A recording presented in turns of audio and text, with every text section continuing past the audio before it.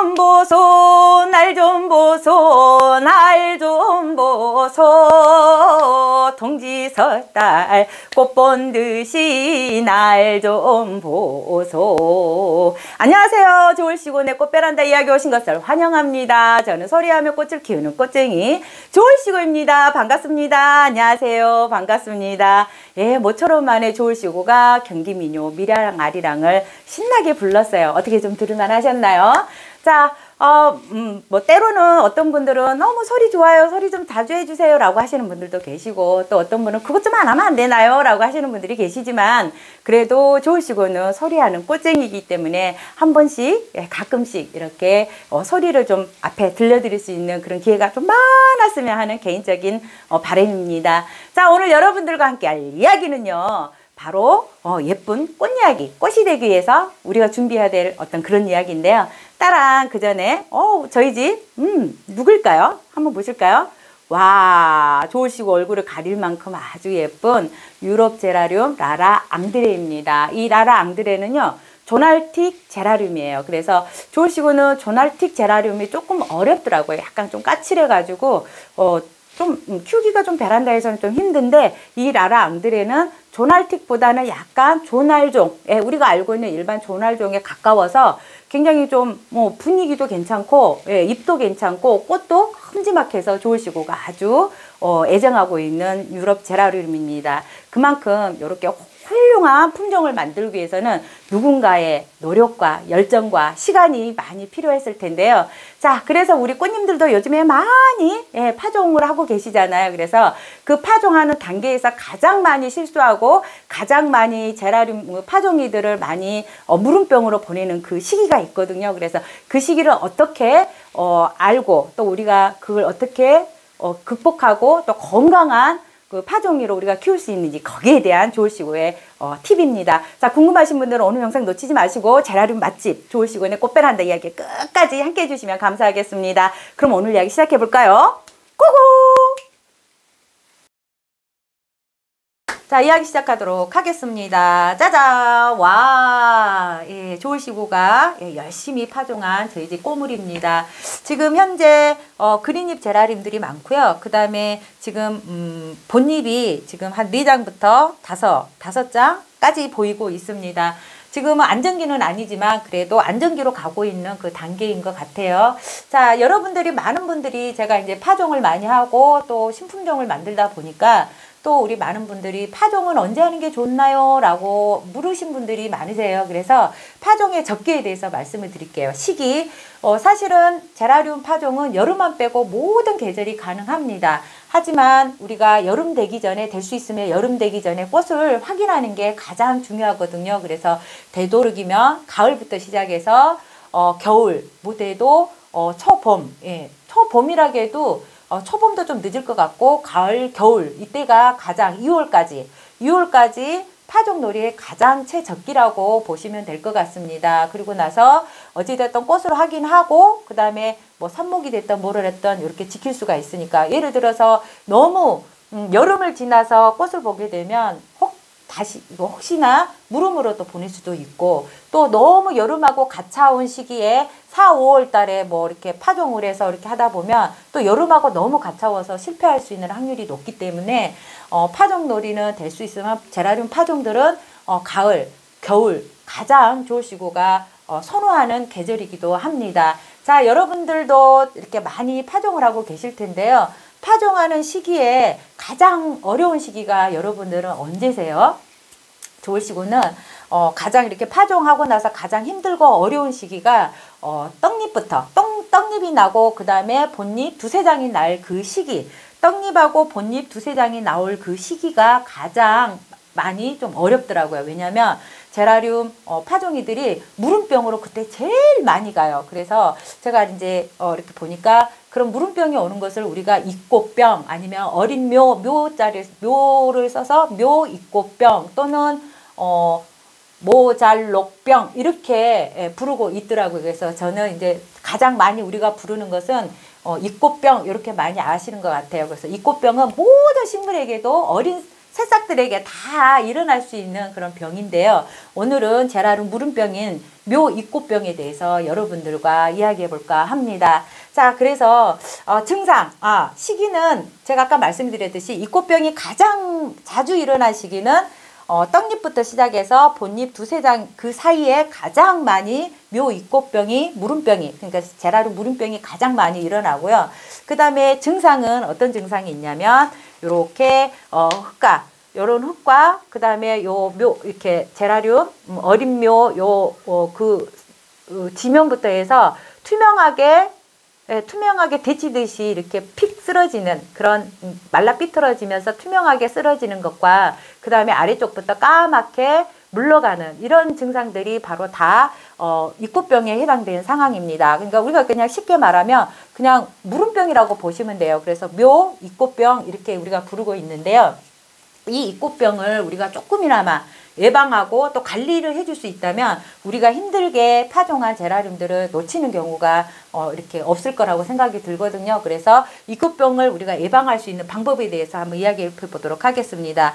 이 꽃병의 원인은 어, 그 이 토양에 있는 그 토양 전염성 그 어떤 그런 음, 병이래요. 그러니까 토양에 의해서 전염된 병이라고 보시면 되거든요. 그래서 우리가 어, 제라늄 씨앗을 이렇게 뿌리를 내리고 물발화를 시켜서 가장 먼저 만나는 게 뭐예요? 바로 요 흙이죠. 예, 파종 이렇게 할 수 있는 심을 수 있는 흙을 먼저 만나게 되는데 이 흙이 굉장히 중요합니다, 여러분. 그래서 깨끗한 흙, 막 어, 구입한 상토, 얼마 되지 않은 상토를 이용하시는 게 가장 좋고요. 그 다음에 우리 꽃님들이 가장 또 실수하는 게 뭐냐면 상토를 오래된 상토, 예, 오래된 뭐 개, 그, 어, 뭐, 여름 지나 상토 아니면은 또 그 터놓지 오래된 상토는 약간 좀 어려울 수가 있어요. 그래서 그런 상토는 좀 되도록이면 사용하지 않은 게 좋고, 그 다음에 또 아깝다고 재활용, 어, 뭐 이렇게 제라늄 키우다가 남은 재활용 흙들을 또 이용해서 이렇게 파종을 하신다든지 이런 거는 조금 피해 주시는 게 좋습니다.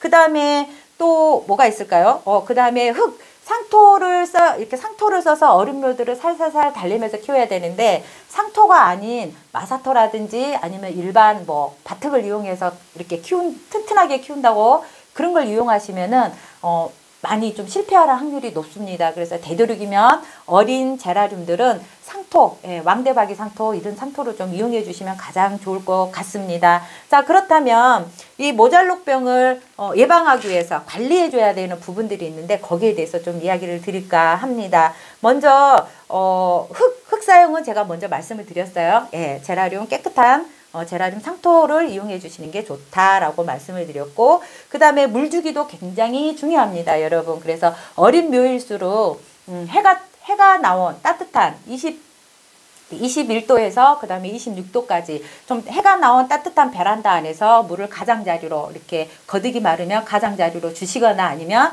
어, 저면으로 주시는 게 가장 좋습니다. 그 다음에 온도도 마찬가지로 어, 낮에는 햇빛을 잘 봐야지만 이 이파리들이 건강해질 수가 있거든요. 햇빛이 부족하거나 아니면 광량이 부족하면 어, 이 제라늄 이파리들이 어떻게 돼요? 어, 예, 길어지고 줄기가 길어지면서 웃자람이 심해지면 약해질 수밖에 없죠. 그래서 될 수 있으면 햇빛 좋은 베란다 안에서 햇빛을 좀 많이 먹여주실 걸 좋으시고가 추천드리고 햇빛이 좀 부족한 집이다라고 어, 생각이 드시면 어, 식물등 아주 좋습니다. 어린 묘 키우기는요. 그래서 식물등 아래 이렇게 두실 것을 좋으시고가 추천드리겠습니다. 자, 아까 제가 발화 적정 온도가 21도에서 26도라고 말씀을 드렸는데요. 낮은 온도의 어떤 낮은 온도, 그러니까 이 토양 자체가 너무 차가워도 예, 그 입꽃병이 잘 생긴다고 해요. 그래서 될 수 있으면 어, 밤에는 어, 거실로 들여서 따뜻하게 지내다가 낮에는 해가 뜨고 어, 좀 따뜻해질 때는 베란다 안에 베란다로 나와서 어, 햇빛 적당히 잘 먹고 이렇게 건강하게 어, 관리를 해주시면 좋을 것 같습니다.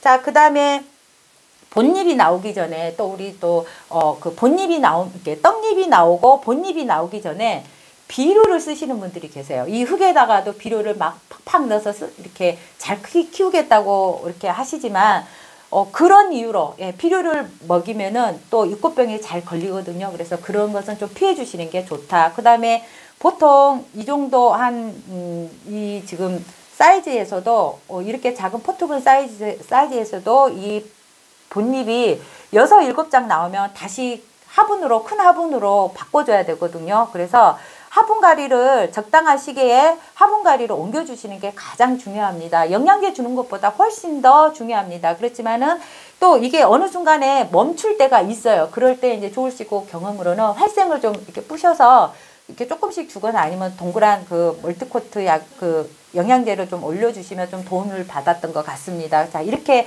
영양분은 거의 신경 안 써도 되지만 혹시나 얼음땡하고 있는 어, 파종묘가 있다면 그렇게 또 관리해 주셔도 좀 효과가 있더라고요.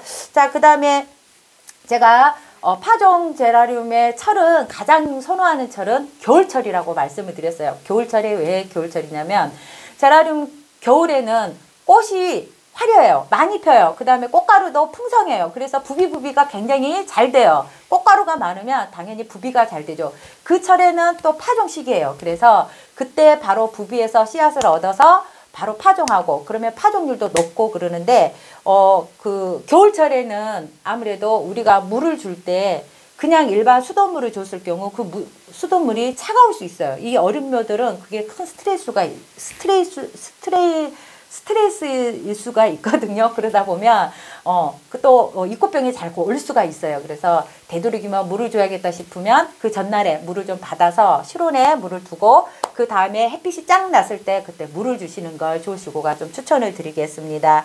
그 다음에 또 어, 아까 제가 말씀을 드렸듯이 어, 어린 묘일수록 어, 상토로 이용하시는 게 좋고 거친 흙은 되도록이면 사용하시지 않는 게 좋다라고 말씀을 드리고 싶어요. 예를 들어서 뭐 다육이 키우는 흙처럼 마사토를 뭐 많이 섞다든지 아니면은 거친 뭐 그냥 흙 일반 흙들을 많이 섞다든지 이러다 보면 이 제라늄 음, 어린 묘들이 그렇게 크지를 못해요 여러분들 그리고 어려움이 있으니까 그렇게 하지 않은 게 좋고요 그 다음에 화분에 어떤 분이 우리 어, 이렇게 보시면 우리 초보님들이 가장 많이 하는 실수가 파종 이렇게 씨앗들을 한 화분에 여러 개 섞어서 이렇게 키우내거나 아니면 넓은 그냥 대충 예, 넓은 어, 화분에다가 파종묘들을 그냥 한 대다섯 여섯 개 막 이렇게 한꺼번에 키우는 것은 좋으시고는 비추예요. 왜냐하면 하면 이렇게 그 어, 여기 사진에 보이시지만은 여기 두부판 정도 이렇게 생긴 거기다가 여러 개 놓고 물을 주면요 아무래도 부피 넓이가 있기 때문에 물 마름이 어떻게 됐어요 더딜 수밖에 없죠 그래서 되도록이면 어 어 그 물발화 시킨 씨앗들은 각각 하나씩 배정해서 심어주는 게 가장 좋습니다. 이렇게 하나씩 심어주시는 게 가장 좋고요. 또 그 이유는 뭐냐면요. 그 여러 개 심, 하나분에 여러 개 심으면 안 되는 이유가 어, 하나가 어, 이코병에 걸리잖아요. 그러면은 그 나머지 심었던 그 제라늄들도 걸릴 확률이 높아요. 그 다음에 또 하나가 살아남더라도 어, 그린 음, 그 제라늄 묘가 살아남더라도 그 나머지 약한 그런 묘들은 퇴화될 수 있거든요. 그 희한하더라고요. 그래서 퇴화돼서 건강하지 못하거나 하나는 건강한데 하나는 삐실삐실 자라다가 결국은 예, 퇴화돼서 뭐 죽는 이런 경우가 많으니까 되도록이면 조금 더 정성을 들여서 우리가 어, 파종 제라륨을 키우셨으면 좋을 것 같습니다. 자, 그 다음에 이제 파종 제라륨 키우는 요 화분의 이야기예요. 자, 이렇게 좋으시고도 지금 현재 이런 삼목용 컵 딱딱한 걸로 지금 키우고 있고, 그 다음에 요런 어, 화분이라든지, 그 다음에 또 요런 이런 네, 연질본 두 가지 이렇게 주로 많이 이용을 합니다. 파종을 했을 때. 그 다음에 어쩔 수 없이 이게 없으면 이거 이제 어, 삽목 그 컵을 이용하는데 좋으시고는 이렇게 딱딱한 화분을 이용하는 것보다 이렇게 사이즈가 작고 이렇게 연질 말랑말랑하는 연질 화분을 어, 추천합니다. 왜냐하면 이게 이렇게 연질이 부드럽기 때문에 살살살해서 그냥 밑에 여기 구멍에 뽕 해서 그냥 쏙 빠지게 해서 다시 정식하기가 쉬운데 이런 딱딱한 이런 음, 이런 화분들은 일단은 밑을 막 때려서 뽑아야 되기 때문에 좀 어려움이 있어요. 그래서 될 수 있으면 이런 연질분을 이용하는데 얘보다는 예, 얘보다는 얘 이렇게 딱딱한 화분보다는 얘가 좋고 얘보다는 좋으시고는 얘가 이렇게 연질 얘가 더 잘 이상하게 좀 잘 크는 느낌이에요. 그리고 되게 어, 뽑아내기도 쉽고 아주 어, 실적이 좋은 것 같아요. 그래서 좋으시고는 그리고 이게 오므라들고 막 이러잖아요. 그래서 좁은 공간에 여러 개 놓고 이렇게 키워도 많이 들어가요. 그래서 되도록이면 이런 전문 파종하는 이런 연질분을 좀 주로 많이 애용하는 편입니다. 자 이렇게 해서 화분도 작게 작게 쓰시고 어, 여기 제가 이제 따로 이렇게 물발화 시켜서 그 다음에 제라리움 파종하는 방법, 흙사용 방법 이런 것들 올려놓는 여기 영상 하나 있으니까 제가 하나 올려드릴게요. 궁금하신 분들은 이 영상도 참고해 주시면 좋을 것 같습니다. 자, 여러분들 힘들게 어, 이렇게 파종한 제라늄들 묘 입꽃병으로 보내지 않도록 우리가 조금 더 신경 쓰면 좋을 것 같습니다. 자, 다음 시간에는요, 조울시고가 이제 이런 묘들을 좀 더 크게 좀 키웠어요. 그 다음에 많은 분들이 또 궁금하시는 게, 어, 조울시고님 어느 정도 묘가, 어, 파종 제라늄이 크면 이거를 어, 순짓기를 해야 되나요? 말아야 되나요? 어, 순짓기를 하면 어, 어떤, 어떻게 제라늄들이 변하나요? 이런 질문들을 좀 많이 하세요. 그래서 어, 파종 제라늄들 이렇게 어느 정도 키워내서 언제 순짓기를 하고 순짓기가 좋은 건지 나쁜 건지 장단점에 대해서 조시고가 또 네, 친절하게 알려드리도록 하겠습니다. 자 여러분들 뭐 두서없는 이야기 오늘도 들어주셔서 너무너무 감사드리고요.